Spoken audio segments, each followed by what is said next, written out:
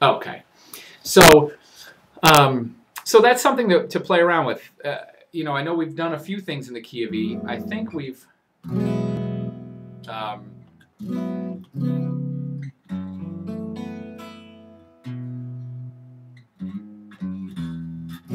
I think we've played around with this progression a little bit. Um,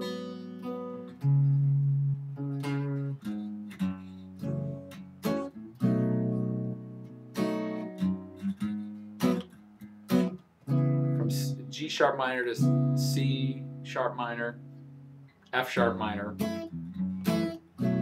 B7 sus to B7. So we've got this nice, this is an E with an add 9, uh, adding the F sharp. So I've got my E chord here. Let's see if I can show you. And then um, um, there's no ring finger and this one's out. I'm just adding an F sharp to that E chord, fourth fret of the, of the fourth string.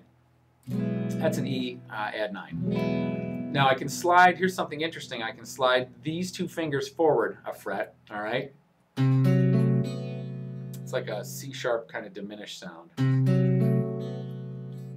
I'm adding the B and the E if you want. Interesting.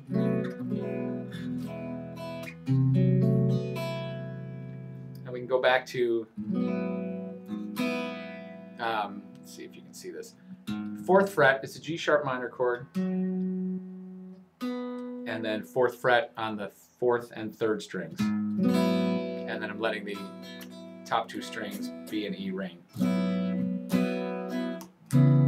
I think you know this one. C sharp, that's fourth fret on the fifth string, C sharp minor. Index fingers playing an E, second fret of the fourth string.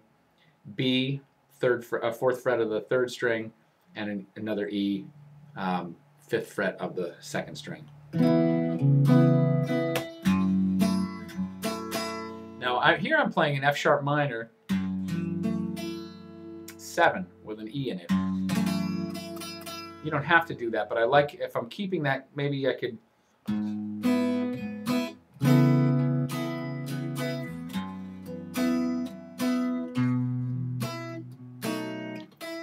So I'm keeping it constant on the G sharp chord. I'm still keeping that E ringing. I'm just not playing it there. I'm playing on the open string. So here, back again, G sharp minor, C minor, sharp, C sharp minor, F sharp 7. This is just a B7 with that E in it, fifth fret of the second string.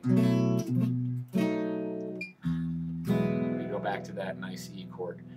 Uh, so this is something you can play around with.